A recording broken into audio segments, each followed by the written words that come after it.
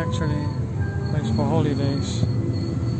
And on the other side is Poisson.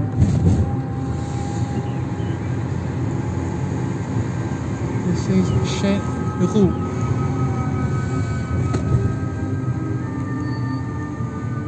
The houses are always